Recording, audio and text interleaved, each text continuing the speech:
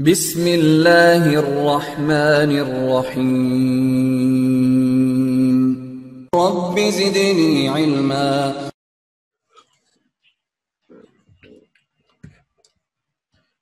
Okay, so the next thing we'll, we'll try to get into the basic setup. Like we have already seen the IP addressing in our previous classes. So here what I'll be doing is we'll be setting up a basic connectivity of four computers.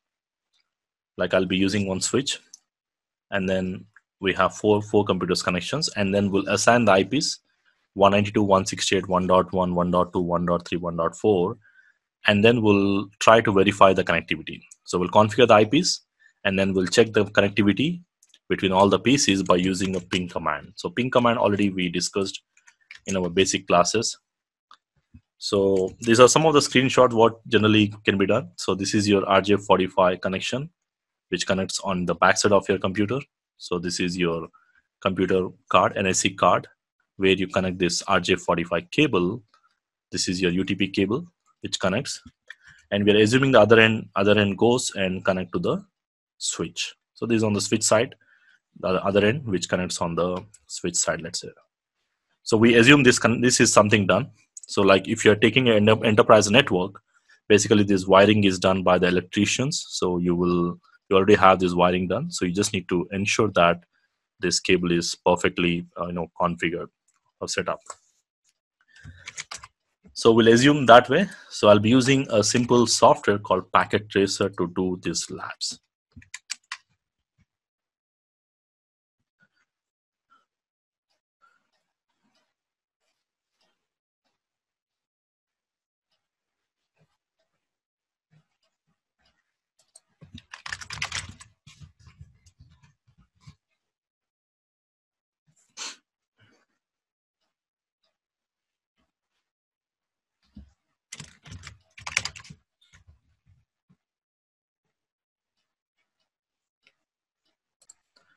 Uh, you can you can actually simulate some devices. Like here you can see the routers. Routers will be using them later on.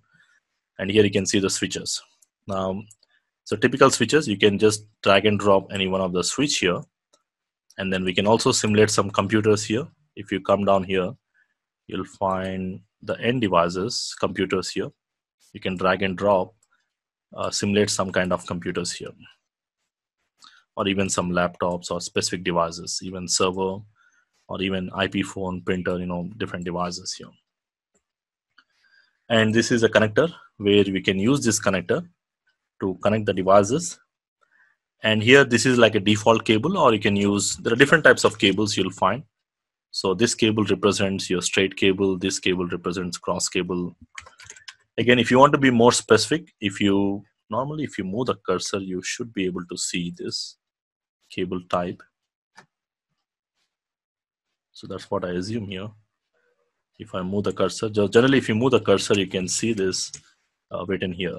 So if you if you just come down and see here, it's a copper straight cable. When I move the cursor, this is a copper straight cable and this is your copper crossover cable, basically. And again, this is your fiber cable and this is a different cable again, this one, uh, coaxial cable like that. So you can select any one of this cable like here i'm selecting this straight cable which connects from my computer. And again on the computer i'm connecting my fast ethernet port the rj45 connecting to any one of the port of the pc or the switch. So typically the switch supports uh, multiple ports. Uh, mostly this if you see here mostly these are like fast ethernet ports.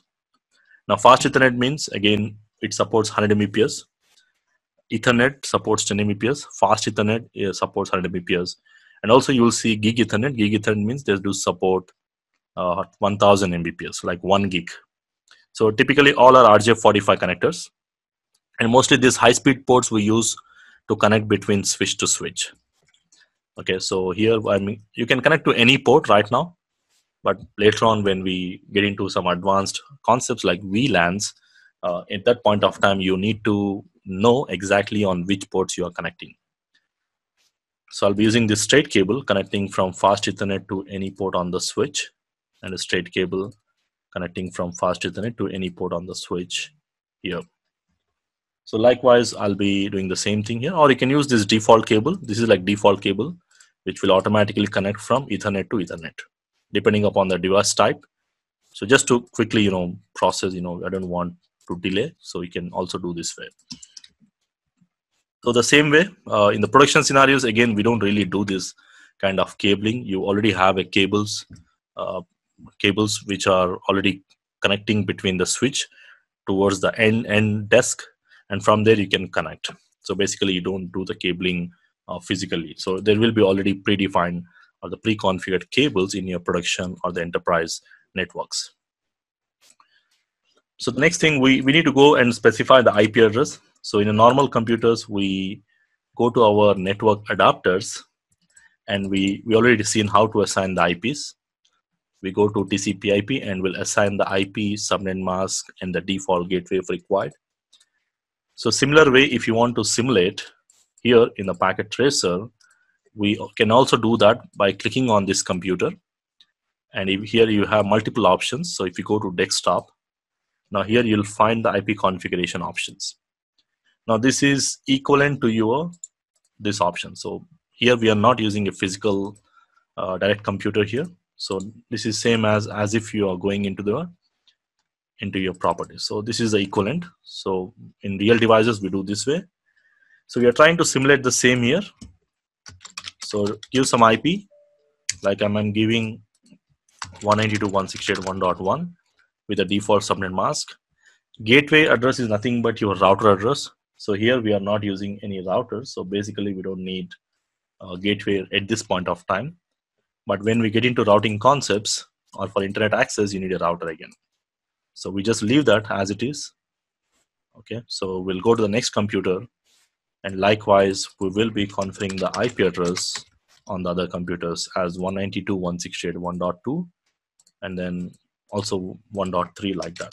So we'll go and assign IPs. So we already learned the basics that if you want all these devices uh, to be able to communicate with each other, they must be on the same subnet, which means the network portion has to be same. So they must be in the same range. If you remember, we already did enough subnetting and IP addressing classes in that we've already seen that. So if you want, you can also use subnets. I'm not using subnets here. Let's make it simple with default IPs. Likewise, you go and uh, do that. And now if you want to test the connectivity, generally in the computers, we go to the command prompt and we use ping, ping tool. Now this ping tool, here we can use ipconfig to figure out what is the IP address we are using. Like this is my Wi-Fi adapter, the wireless adapter on my computer using this IP and the gateway address gateway is nothing but your router the wireless router which i'm using here and if you want to test the reachability between your device and the router or any other device we use a ping command like i'm using ping here. So here you can see we are getting a reply. So we already discussed this ping tool already in the previous uh, basics. So i'm not getting in details of this right now. And the same way if you want to do in the software so we'll be simulating the same way. Go to the computer uh, click on the computer and then go to the command prompt. So this is same like what i did on the physical computer. So exactly the same. So we say ipconfig to verify my interface. What is the ip and the subnet mask configured on that particular uh, device? And also you can verify ipconfig slash all to verify more information. And then we can use ping command to test the connectivity with other devices. Like in my case, the IP address of this device is 1.1, 1.2, 1.3, 1.4. Now you want to generate a ping request to test the connectivity between them. So you can see I'm getting a reply, means it's a confirmation that I, I do have reachability between these devices here. Now, typically in the production networks, when you already have a connection, you can test the connectivity between these devices by using ping commands, and that's what we did here.